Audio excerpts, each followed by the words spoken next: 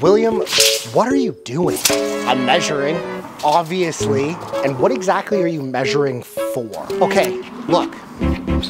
Car here, okay. Storage here, okay. Man cave. Or car, storage, man cave. I just don't know what to do. There's just so much room for activity. Okay.